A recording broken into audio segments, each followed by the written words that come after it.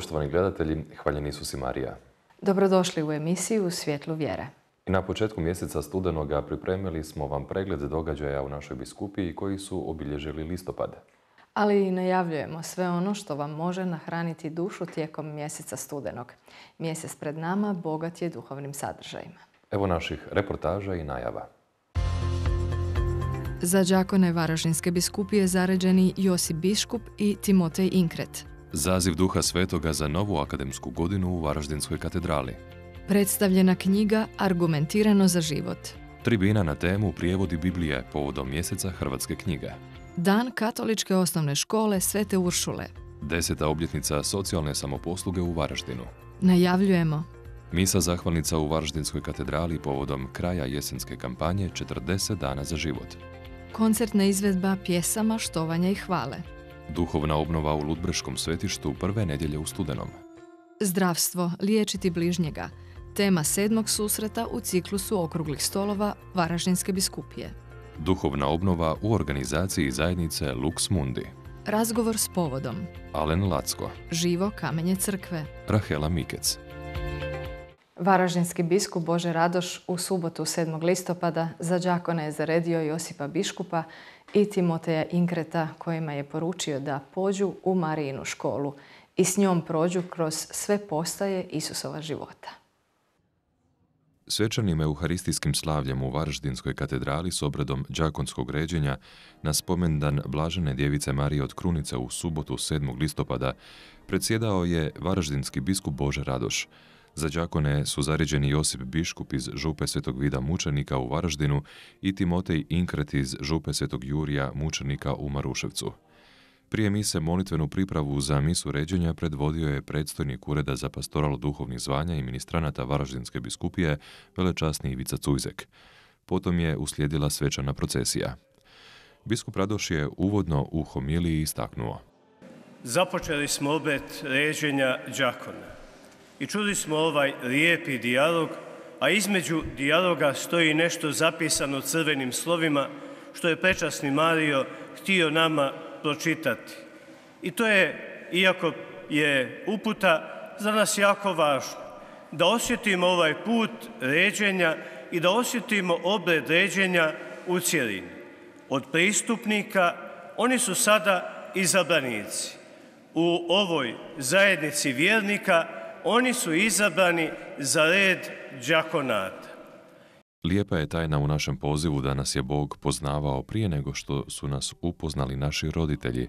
Majčina utroba je tako sveta, a posebno je svet onaj koga Bog šalje, tko ima poslanje kod gospodina, kazao je nadalje monsignor Radoš u homiliji. Imamo ljude koji imaju slab glas. To su oni koji apostoli kažu da su udovice. To su oni koji su na rubu. To su siromasi svake vrste. Materijalni siromasi, siromasi u duhu, siromasi u vjeri i možemo dalje nabrajati. Oni imaju slab glas. Imati uho, slušati glas Boži po evanđelju, ali i po živome evanđelju. Tamo gdje se gospodin nastanio i gdje nam želi donijeti svoj glas preko oni koji imaju najslabiji glas u društvu, u crkvi, siromasi. Vas je gospodin izabrao da vaša služba bude obilježena tim poslanjem crkve.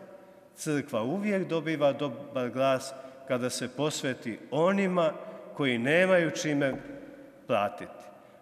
Na kraju homilije osvrnuo se na spomendan Blažene djevice Marije od Krunice te kazao da nam je Isus dao Mariju za majku te ređenicima poručio. Pođite zajedno s njom kroz život, kroz sve postaje Isusova života. Ona je naša majka i učiteljica. Ako sjednete s njom u klupu, nemojte se bojati od nje prepisivati jer nam ona nudi najdublju istinu koja je zapisana u njezinu životu. Ona će nas naučiti kako Isusa staviti u središte svoga bića i naučit će nas kako od njega živjeti, njega kao riječ nositi drugima i posluživati u svemu braći ljudima. Misu sa zazivom Duha Svetoga na početku akademske godine u nedjelju 8. listopada u Varaždinskoj katedrali predslavio je Varaždinski biskup Bože Radoš. Na misi su se okupili studenti i profesori iz područja Varaždinske biskupije. Biskup Radoš predslavio je misu sa zazivom Duha Svetoga u Varaždinskoj katedrali u nedjelju 8. listopada. Ta nedjeljna misa ujedno je bila i zahvala za plodove zemlje, ali i za nedavno održane Varaždinske barokne večeri. U homiliji je tumačio prispodobu o vinogradu, odnosno vinogradarima. Naglasio je da je Isus Krist kamen zaglavni, zahvaljujući kojem se kuća života onima kojima upućuje prispodobu neće urušiti ako ga prihvate i prepoznaju, nego će u njoj moći živjeti u budućnosti. Svatko može u svom životu vidjeti gdje to odbacuje gospodina, kako na koji način ga ubija, ne prihvaća, gdje su ti naši građevinski radovi u našem životu, gdje on nije ucijepljen, gdje ga nismo prepoznali, ugradili, gdje nemamo stožer, gdje se urušava naš život. O tome možemo razmišljati kroz ove dane. Možemo i sebe staviti u sliku onih vinogradara koji nisu donijeli plod koji je potreban za život svijet. Ali u ovoj godini, dragi studenti, gospodin vam daje novu priliku, novu šansu. Vama sa vašim profesorima, sa vašim roditeljima. Homiliju je zaključio podsjetivši na svetu Tereziju od djeteta Isusa i svetoga lica. Ovu sveticu crkva je prepoznala kao naučiteljicu. Iako se pred Bogom osjećala kao nula, ona je, jer joj je Bog bio temelj, zapravo bila desetka. Dragi studenti, želim vam da Boga tako stavite na prvo mjesto. Onda ne samo da će biti deset u vašem srcu, vjerujem da će biti desetke i u vašem indeksu. Neka vam gospodin dane milost da ga znate staviti na to mjesto gdje ste uvijek pobjednici, gdje ste uvijek vrijedni, gdje uvijek se vraća osmijeh na lice i vas, vaših profesora, vaših roditelja i svih nas. Amen. Na kraju misnog slavlja zahvale i pozdrave uputio je studentski kapelan velečasni Hrvoje Damiš, te pozvao studente, osobito one koji su prva godina studija, da se odazovu redovitim susretima četvrtkom u 20 sati u dvorani za mlade na adresi Augusta Cesarca 4. 40 najčešćih mitova o pobačaju, a onda i argumenata kako ih pobiti, donosi nedavno izišla knjiga naslova Argumentirano za život. Knjiga je to autora doktora znanosti Krunoslava Puškara u izdanju Udruge Hrvatska za život, koja je u Varaždinu predstavljena 18. listopada. Evo o čemu se radi. Argumentirano za život, kako obraniti dostojanstvo ljudske osobe, naslov je knjige koju je za udrugu Hrvatska za život napisao doktor znanosti Krunoslav Puškar, te je Varaždincima predstavljena u župi Svetog Josipa u Varaždinu u srijedu 18. listopada. Gošće na predstavljanju su bile docentica doktorica znanosti Mirjana Radan, specijalistica ginekologije i obstetricije, subspecijalistica fetalne medicine i obstetricije. Zatim Petra Milković, dopredsjednica udruge Hrvatska za život, te Dijana Brozović, voditeljica tima za trudnice Nisi sama. Kako je rekla Milković, knjiga je nastajala od 2016. godine kad se sam autor našao u situaciji da, kao molitelj pred bolnicom koji zna da je za život, nije znao argumentirati svoj stav. Upravo ga je to potaknulo da krene istraživati i objediniti odgovore na brojna pitanja i nedoumice u jednu knjigu. Tako u knjizi piše o problematici pobačaja, definira pokret za život, bavi se pitanjima katoličke crkve u odnosu na pobačaj, piše o važnosti argumentiranja, a onda donosi 40 najčešćih mitova o pobačaju te argumente kako ih pobiti. Knjiga ima i dodatak za one koji žele više, popis literature za apologetiku za život, zatim popis korisnih mrežnih stranica za život te odgovore na pitanja kako udruga pomaže majkama u kriznim trudnoćama ili pak onima koje nose ranu pobačaja. Krunoslav je tu obradio i jako puno e, statističkih podataka za Hrvatsku, zakonskih okvira, e, puno zanimljivih priča e, koje osim ovako jednih, recimo to tako što bi, možda bismo rekli da je to nešto suhoparno, međutim to je jako životno, s puno iskustva jer Udruga Hrvatska za život ima iskustvo rada od deset godina, tako da se sve to može pronaći u našoj toj novoj knjizi argumentirano za život koja je namijenjena zapravo svakome koji želi znati obraniti dostojanstvo ljudskog života. Prilikom predstavljanja knjiga u Varaždinu najprije je Radan ukratko iz znanstvenog aspekta govorila argumentirano o tome kako život počinje začećem, a potom je prikazan i kratki film o nastanku i razvoju čovjeka od začeća. Brozović je pak nizom primjera iz vlastitog iskustva dugogodišnjeg rada u Udruzi Hrvatska za život kao voditeljica tima Nisi sama, nastojala potaknuti okupljene da budu zauzeti borci, odnosno molitelji za život. Govoreći o raznim situacijama i primjerima na koje načine su spašeni životi ne samo djece, nego i čitavih obitelji, pa i generacija za vječni život, jer su se osim odluke za život događala i obraćenja. Ohrabrila je okupljene da se usude stati pred bolnice i moliti, jer nikada ne znaju kada će baš njihova molitva ili stajanje pred bolnicom spasiti život. Kad je u pitanju možda najmoćniji argument za život koji njoj pomaže u spašavanju života, Brozović kaže da su svi argumenti jako korisni i jako važni, ali kao najvažniji ipak ističe činjenicu podrške tim majkama. To je upravo argument da nisu same, da neće ostati same, da postoje ljudi koji su spremni izložiti se, koji su spremni im pomoći, pružiti ruku i evo biti uz njih u tim teškim životnim trenucima. To je svakako onaj najvažniji argument koji je svakoj, svakom čovjeku, rekla bih, kad se nađe u nekoj teškoj situaciji je najvažnije da ima podršku svojih bližnjih ili neke osobe s, kojim, s kojom bi mogla podijeliti taj E, težak trenutak, pa tako i tim majkama koje razmišljaju o, pobačaju je najvažnije da znaju da u tim trenucima nisu same i da evo postoje ljudi koji će im pomoći na svaki način koji je njima u tom trenutku potreban. Knjigu Argumentirano za život moguće je nabaviti preko udruge Hrvatska za život upitom na kontakte ispisane na ekranu ili u osobno preuzeti u nekom od njihovih centara za život. O projektu novog hrvatskog prijevoda Biblije bilo je riječi na skupu kojeg je povodom mjeseca hrvatske knjige organizirala Biskupijska knjižnica Varaždin. Naime, ovogodišnja manifestacija mjeseca hrvatske knjige posvećena je prevođenju, a znamo da je upravo Biblija najprevođenija knjiga na svijetu. Kada možemo očekivati novi prijevod Biblije, saznajte u idućem prilogu.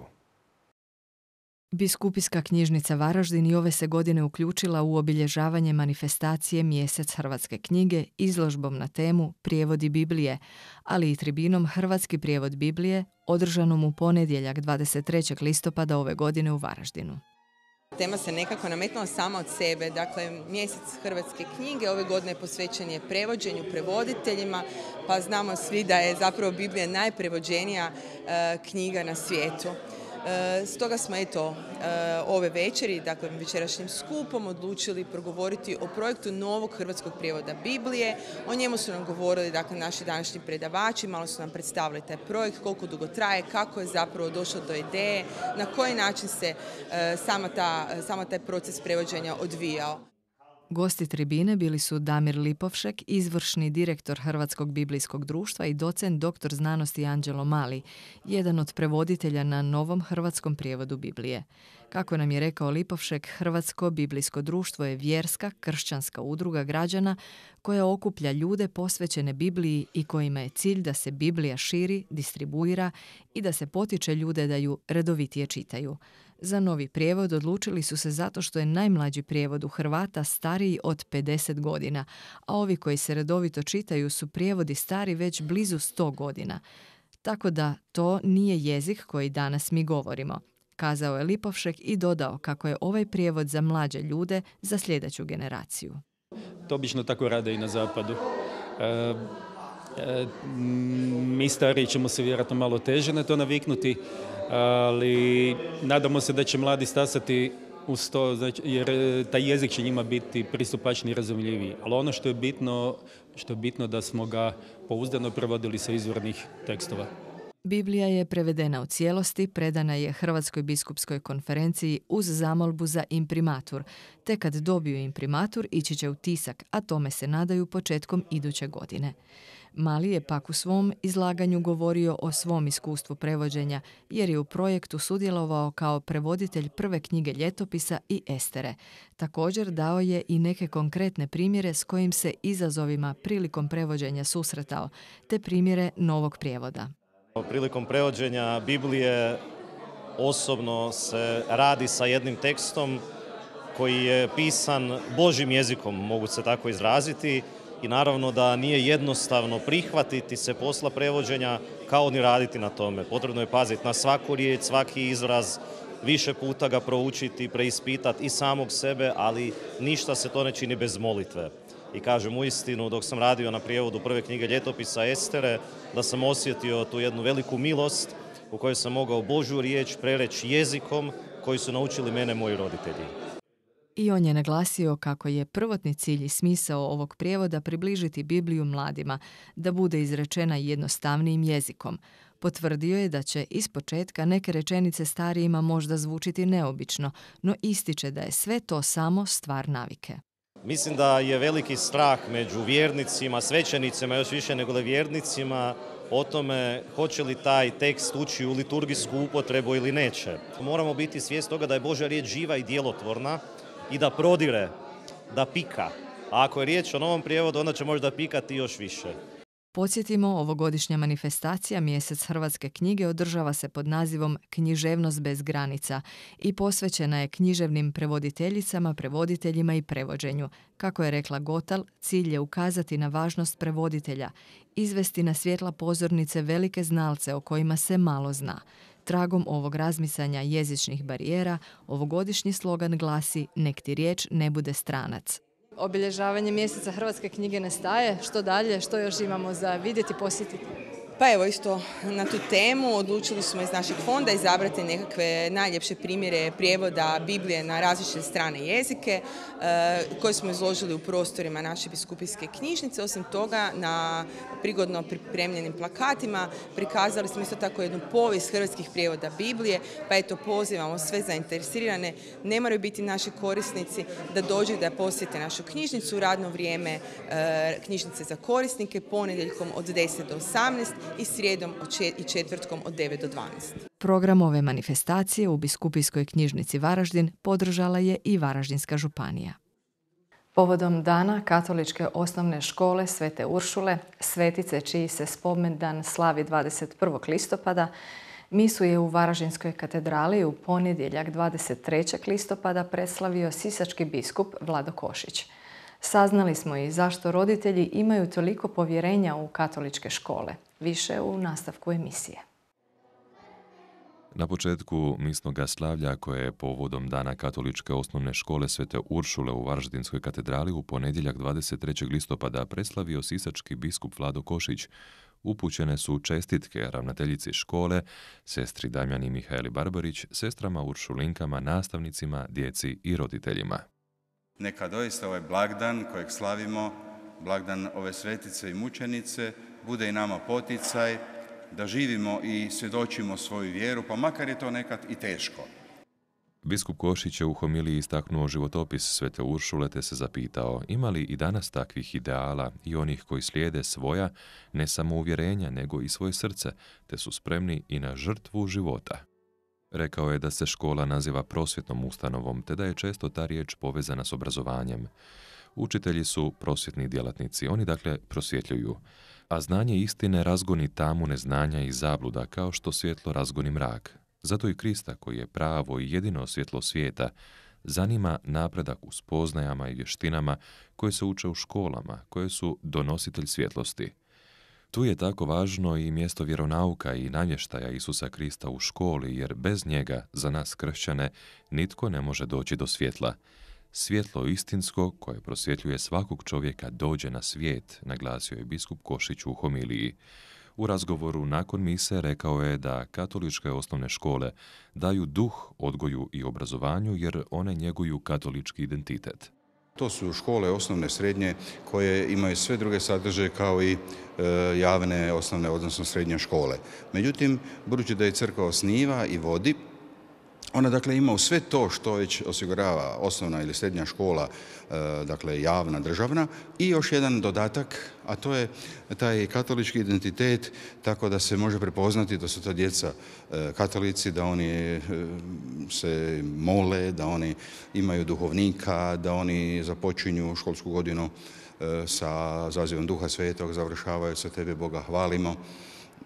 Evo da se na neki način profilira e, taj jedan e, i, vjerski e, element koji je prisutan i kojega mi imamo pravo i po međunarodnim ugovorima, ali i po povijesnom nekakvom nasljeđu jer prve škole u biti i u Hrvatskoj, ali i u Europi, pa i svijetu su zapravo e, katoličke škole. O važnosti i prisutnosti katoličkih škola biskup Košić naglašava. Duh ovoga svijeta sve više prodire u sve pore društva, pa tako i u škole i tu se sve e, više nagurava e, bezboštvo i, i nekakva sramota da se čovjek izjasni da je vjernik, tako da je potrebno osnivati i posebne katoličke ustanove, da se i tu vidi naša e, evo, posebnost, ja bih rekao. A evo, to je slično kao i u medijima. Mi imamo u medijima i katolike, imamo i religiozni program i na HTV i ne znam, na nekim drugim e, ovaj, ovaj, medijskim kućama. Međutim, evo, željeli smo osnivati katolički radio, e, ako Bog da i katoličku televiziju ili možemo reći tu je laudato, tako da tu je ta prisutnost važna jer onda vjernici i općenito slušatelji ili gledatelji znaju što je to e, stav crkve. Na kraju mise riječi zahvale uputila je i ravnateljica škole sestra Damjana Mihajla Barbarić koja je navela kako su djelatnici i učenici obilježili dan škole tijekom protekloga tjedna. Istaknula je između ostaloga i projekte kojima su pomagali misije u Beninu. Također zahvalila je svima koji se ugrađuju u misiju katoličke škole u Varaždinu, kojoj pomažu na financijski način, ali i molitveno. Svi jako dobro znamo da je geslo naše škole servijam, služim Bogu, braći i sestrama oko seba na evanđeoski način. Želimo se stalno podsjećati kako je to važno u svakodnevici, u svim našim odnosima i zadacima, ali i nekako vizualno dočarati da smo dio jedne velike cijeline uršulinskih škola u svijetu Roditelji i učenici polaze ovu školu naglasili su kako ga je veliko povjerenje prema školi koja nosi predznak katolički, te da im je osim obrazovanja važan katolički identitet, odnosno odgoj koji stavljaju na prvo mjesto. Pa dijete sam upisao u katoličku školu iz razloga da na neki način sam miran što se tiče te odgojne dimenzije. To nam je zapravo malo čak i više važno od ovog obrazovne. I da, da je nekako taj i odgoj u skladu e, s našim obiteljskim odgojem. Našli smo mir, slogu i zajedništvo u duhu, u ozračju duhu svetoga. Imam troje djece u katoličkoj školi. E, jako nam je važan u obitelji katolički odgoj i katolička škola nam je produžena ruka i pomažu nam da ih i dok nisu e, doma s nama da da, da nastave s onim što smo mi započeli u obitelji. Na misi su pjevala djeca iz grupe Laurus pod vodstvom učiteljice Mateje Gašparić-Prepelić i Silvije Svoren.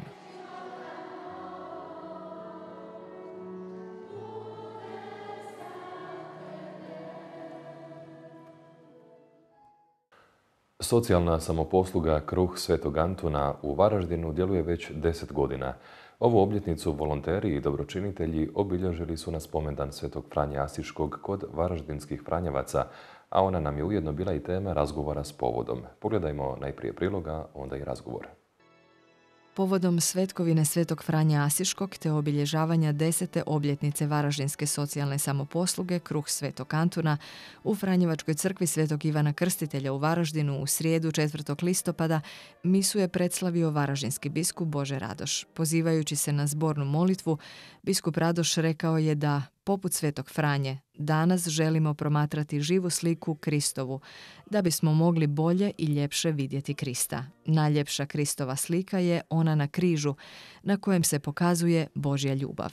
Franjo se tako približio raspetom Kristu da je ocija njegova bića bio na Franjinu krilu, rukama, u njegovu životu i pokazivao se kao živi Krist koji hoda i koji nam želi navijestiti radosnu vijest.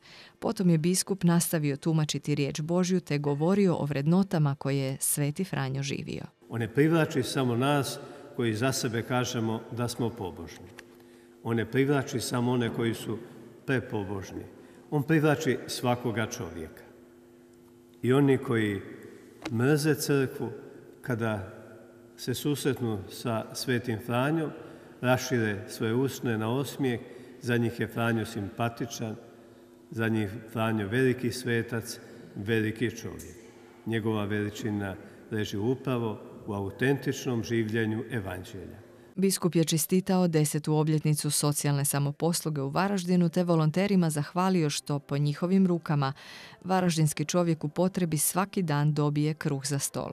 Zahvalio je i Franjevcima u Varaždinskom samostanu koji svojim primjerom nastoje živjeti ono što je Franjo naučavao prijateljima i volonterima socijalne samoposluge Kruh Svetog Antuna, na donacijama i uloženom vremenu zahvalio je i fra Dragan Grizelj, gvardijan Varaždinskog Franjevačkog samostana.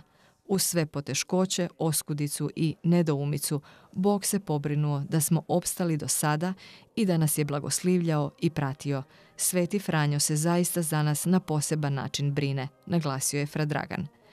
Zahvalu je uputio i Zdenko Viljevac, voditelj sekcije socijalne samoposluge pri Franjevačkom svjetovnom redu Svetog Ivana Krstitelja u Varaždinu. Čestitao je desetu obljetnicu svima koji su prepoznali ovu inicijativu te iznio podatke koji govore o radu i pomoći socijalne samoposluge u proteklih deset godina. U ovih deset godina djelovanja podijeljeno je preko 25 tisuća paketa pomoći u nekakvoj prosječnoj vrijednosti to je preko pola milijuna eura ili skoro 4 milijuna kuna ako, ćemo, ako to tako zvuči bolje. E, isto tako ništa toga ne bi bilo da nije bilo naših vrijednih volontera e, koji su napravili barem ono što smo zapisali preko 27 tisuća volonterskih sati. E, hvala još jednom svima. Mi obećavamo da ćemo uz Božju pomoć i uz vašu pomoć i dalje pomagati. Hvala vam.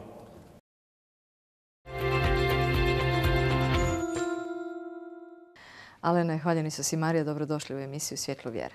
Hvaljeni su si Marija. Evo, kako smo čuli u prilogu, socijalna samoposluga obilježava desetu obljetnicu rada. Vratite nas ukratno, ukratko na početke kako je to sve započelo. Dakle, ideja, inicijativa, cilj. Dakle, početak socijalne samoposluge seže u travanju 2013. godine kad je Siniša Pucić tada iz Franjevačkog svjetovnog reda u Rijeci održao jedno predavanje o socijalnim nekakvim aspektima rada Franjevačkog svjetovnog reda. Nakon toga je došla ideja koju su svesrdno podržali tada gvardijan fra Lucije Jagec i fra Dražen Kovač da bi u Varaždinu osnovali socijalnu samoposlugu i to je krenulo u šestom mjesecu povezali smo se sa kapucinima, to je bila jedna krasna simbioza. Franjevački svjetovni red Svetog Feliksa i Franjevački svjetovni red Svetog Ivana Krstitelja su u lipnju donijeli odluku o osnivanju e, socijalne samoposluge, a za koordinatoricu je bila postavljena gospođa Mara Bago. Nakon toga smo krenuli u e, samu realizaciju projekta skupilo se e, nas nekoliko koji smo bili usko vezani uz Franjevačku obitelj, Franjevački svjetovni red i Franjevačku mladež i krenuli smo raditi. Da bismo došli do toga da smo na blagdan Svete Elizabete Ugarske, koja je zaštitnica Franjevačkog svjetovnog reda, krenuli sa skupljanjem po župama. I tu su nam stvarno župnici iz naše Varaždinske biskupije otvorili vrata i omogućili nam skupljanje. Ranije smo još e, razgovarali sa ravnateljem Karita, sa gospodinom Šolom koji nam je dao potporu. I nakon toga smo još uspjeli provesti akciju po školama, Mladi protiv gladi. To isto se zahvaljujemo ravnateljima koji su nam otvorili svoja vrata. Po principu jedan učenik, jedan, e, jedan proizvod. I mi smo u biti imali napunjenu socijalnu samoposlugu da bismo 17.12.2013. imali svečano otvorenje. Otvorio je fra e, Lucije Jagec, tadašnji gvardijan Franjevačkog samostana. Zanimljiv je i naziv kojeg nosi socijalna samoposluga Kruh Svetog Ante. U biti ideja je naša bila da bude e, socijalna samoposluga Svetog Franje. Ali onda smo nekako odlučili isto na poticaj fra Jageca koji je rekao da ipak e, Sveti Anton svetac svega svijeta i često se u Franjevačkim crkvama može naći kip Svetog, Franje koji, e, Svetog Antona pardon, koji e, drži dijete Isusa i koji ima prikazani kruh, čime se u biti prikazuje ta Antonova svijest za siromašne koju on imao već za svojeg života. koja je osnovna uloga socijalne samoposluge? Po kojem principu ona funkcionira?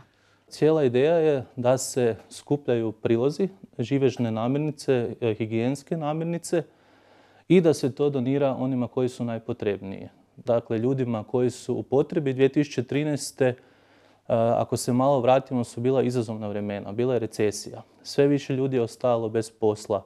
E, mi smo čitajući znakove vremena u onom trenutku prepoznali trenutak da nas ljudi trebaju i da u biti tu našu franjevačku karizmu možemo proširiti na ljude unutar e, grada Varaždina. To je bila početna ideja, kasnije smo to još proširili nešto i na Varaždinsku županiju koliko smo mogli.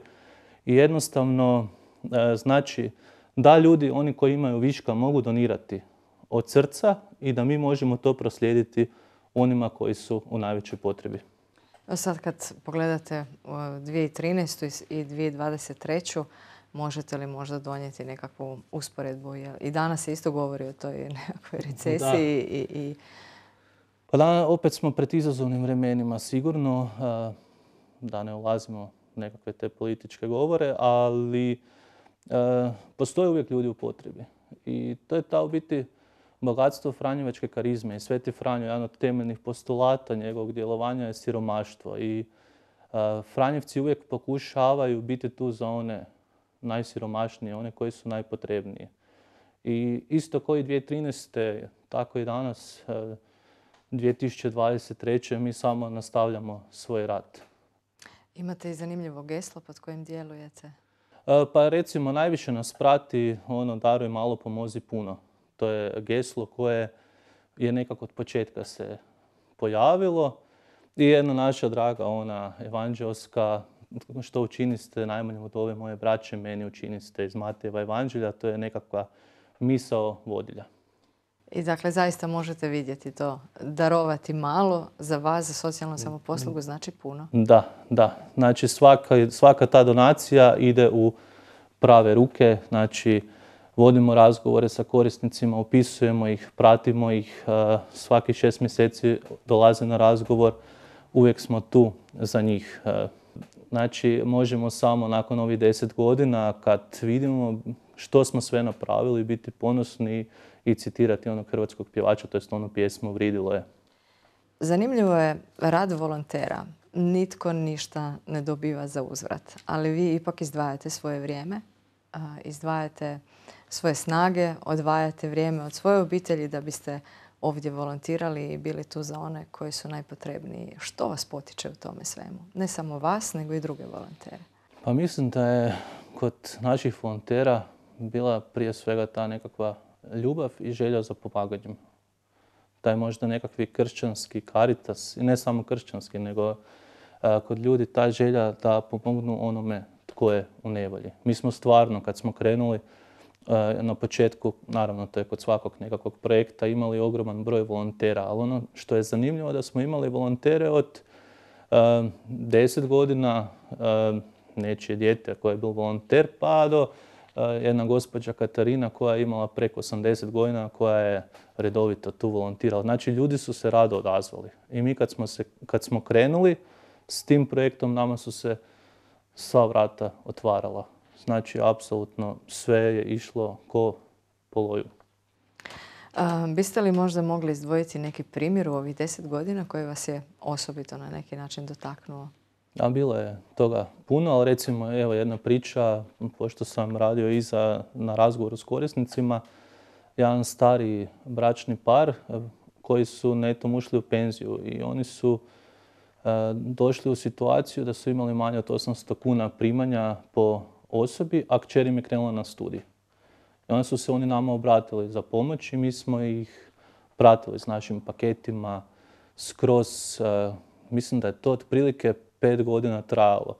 Onda je baš bila situacija, nakon tih pet godina sam ja opet bil ovdje na dežurstvu kad su oni došli i donesli su ovu iskaznicu, zahvalili su, rekli su da im više ne treba, da je čer završila fakultet, da se zaposlila i da ako Bog da da budu oni sad mogli postati donatori. To je biti bila ideja da pomognemo ljudima da se dignu na vlastite noge pa da jednog dana mogu i oni sami biti donatori ove socijalne samoposluge. Da, ljudi se često bore s tim kad uh, vide nekoga da je u potrebi. Zapravo borimo se s tim da želimo dati negdje gdje ćemo biti sigurni da će doći paketi u prave ruke. Što nam vi možete o tome reći? Kakvo je mišljenje vaše? S čime se ovdje susrećete? I evo onda što je trenutno socki, socijalnoj samoposluzi najpotrebnije? Pa najjednostavnije je reći da nam je najpotrebnije sve, a najviše te živežne namirnice i tu biti to nam najviše odlazi. Živežne namirnice, brašno, ulje, mlijeko, to je uvijek ista priča jer to su nam paketi koji nam odlaze na tjednoj bazi. E, mi smo, što se tiče kao udruga, apsolutno transparentni. Mi imamo sav ulaz robe zabilježeni, sav izlaz robe. E, znači sve, e, koliko smo kome dali paketa, kome smo dali, tako da tu što se tiče nekakvih donatora mogu biti apsolutno sigurni da to odlazi i da je transparentno i da odlazi u ruke onih koji su stvarno u potrebi. I još što se tiče volontera, jel trebate volontere? Uvijek. Dakle, volonteri nam uvijek dobro dođu zato jer velim, potreba je. uvijek se radi, podjele su, skupljanja su po centrima, to isto su nam centri ranije još otvorili svoja vrata kad smo kretali, apsolutno svi svi trgovački lanci koji su bili prisutni u Varaždinu su nam dopustili da skupljamo tamo. Tako da i njih je vrijedi spomenuti i tako da volontera uvijek trebamo. I za one koji možda ne uspiju u trgovačkim centrima, mogu li donijeti svoje donacije u socijalnu samoposlugu i kada, u koje vrijeme? Mogu da pače, znači podjele su utorkom i četvrtkom od 16 do 18 sati ili se mogu javiti na broj 099 213 9616 E, to je naš broj od naše socijalne, od službenog mobitela i tu se uvijek može dogovoriti donacija, kad mogu dovesti donaciju. E, mi se prilagodimo, tako da nema tu problema. Alene, hvala vam puno. Hvala vama. Lijep pozdrav. Živi kamen crkve u mjesecu studenom je vjeroučiteljica Rahela Mikec. Osim posla u školi, svoje vrijeme daruje i župama u kojima katehizira djecu i mlade. Usto ima talent i ljubav prema umjetnosti. Kojoj? Pogledajte u razgovoru.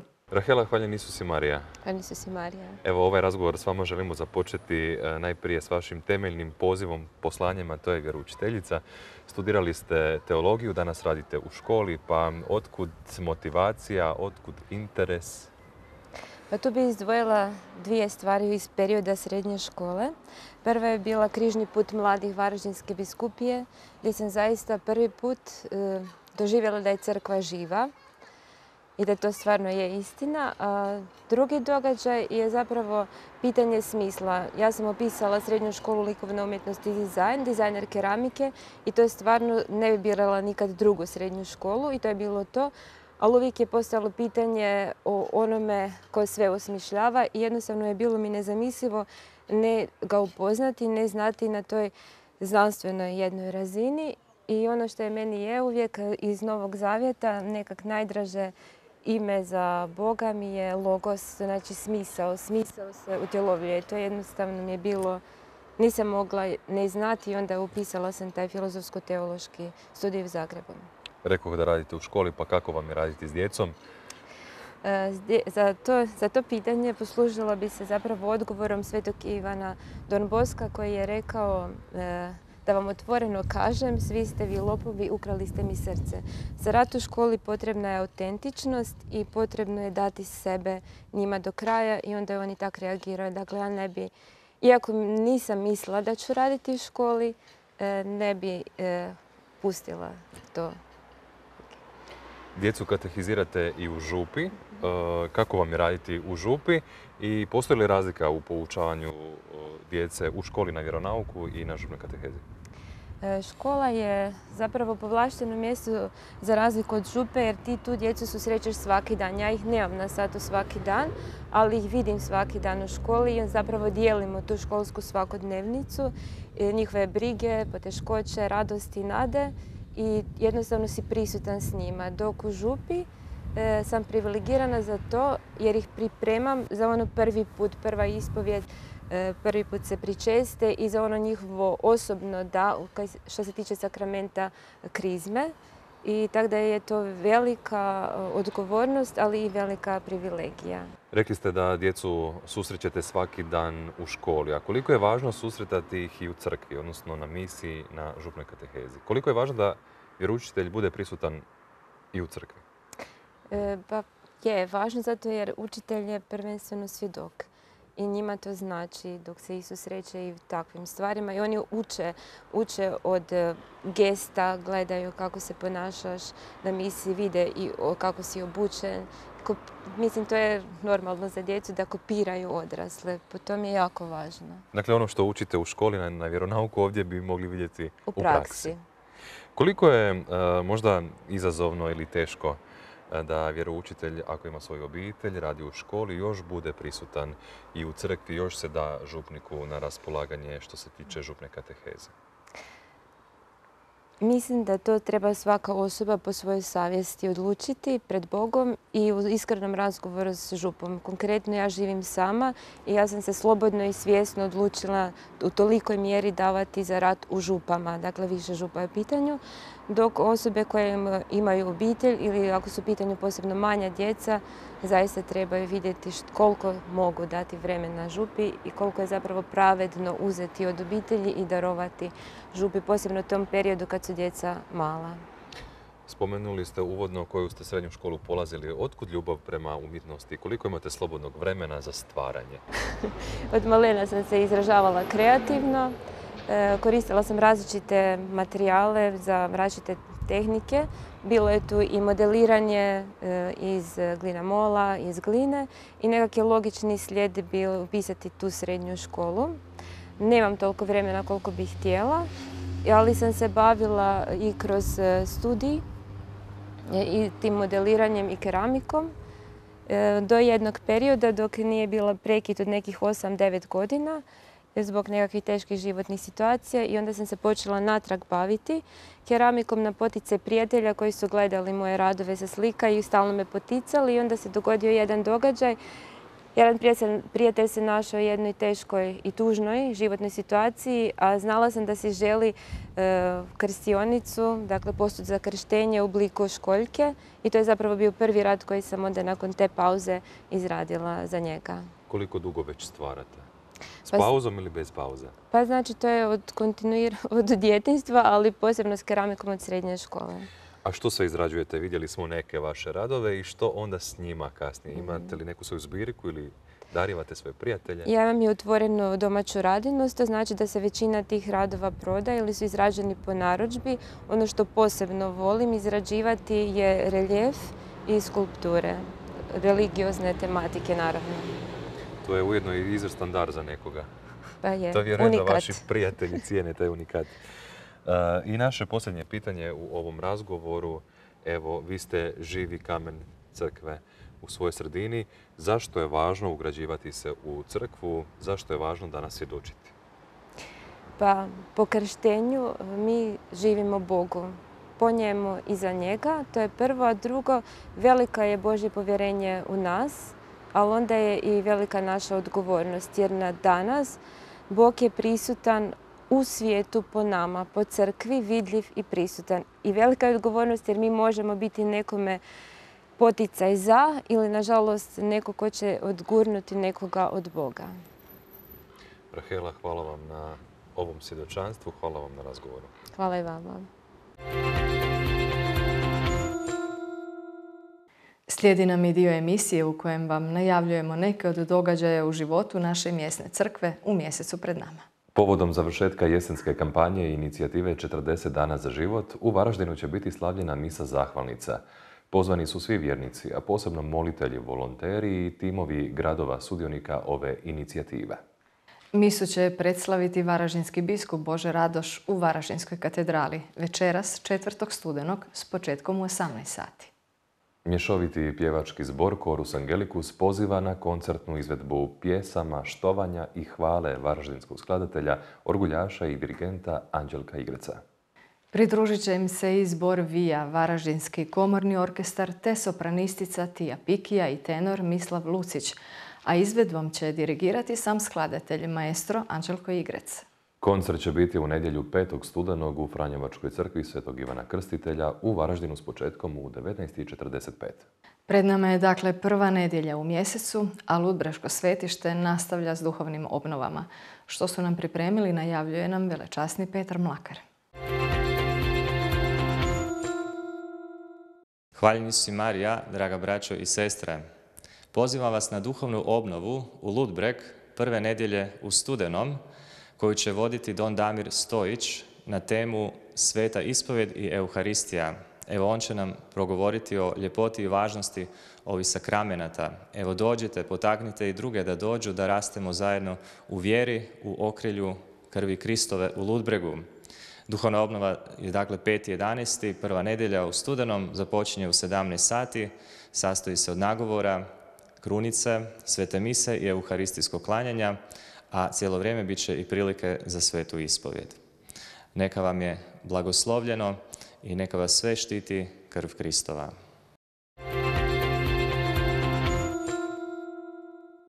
Dragi gledatelji, sljedeći okrugli stol iz ciklusa okruglih stolova o djelovanju katolika danas bavit će se temom zdravstva. Ovoga puta naši gosti biće doktorica Jasminka Stepan Giljević iz Klinike za dječje bolesti Zagreb te doktor Dubravko Habek iz Klinike za ženske bolesti i porode KB Merkur. Susret će se održati u Centru za mlade u, e, na adresi Augusta Cesarca 4 u Varaždinu u ponedjeljak 6. studenog s početkom u 19.30. Dođite, vidimo se.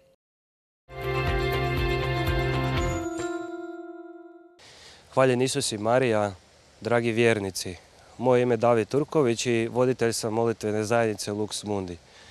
Radostan sam jer vas mogu pozvati ove godine na duhovnu obnovu koju pripremamo u 11. mjesecu, točnije vikend od 24. do 26.11.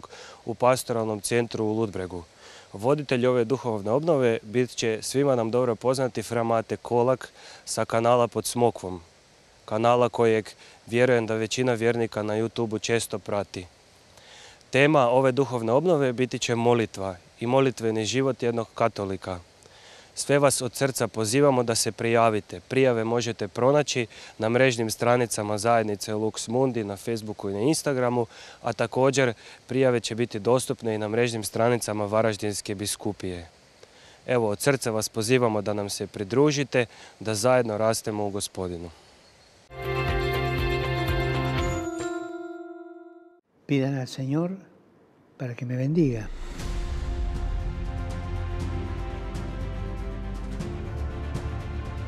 La oración de ustedes me da fuerzas y me ayuda para que pueda discernir y acompañar a la iglesia escuchando al Espíritu Santo. Por el hecho de ser papa, uno no pierde su humanidad.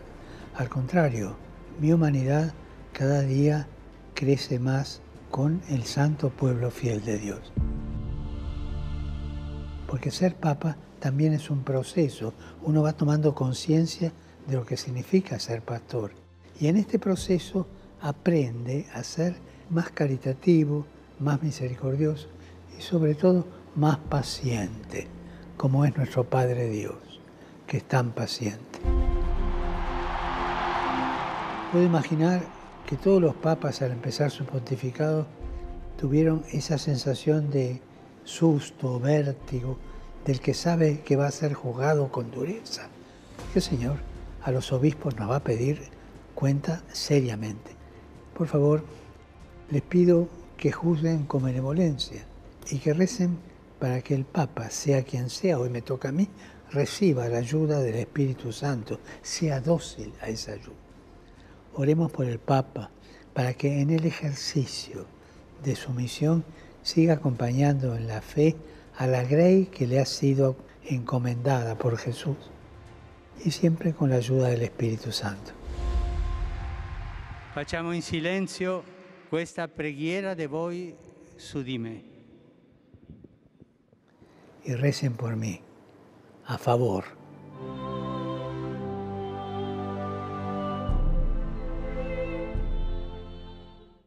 Nadamo se da vam je vrijeme brzo proletjelo kao i nama. I da ćete ponovno biti uz našu emisiju za mjesec dana. Hvala vam na pozornosti. Srdačan pozdrav.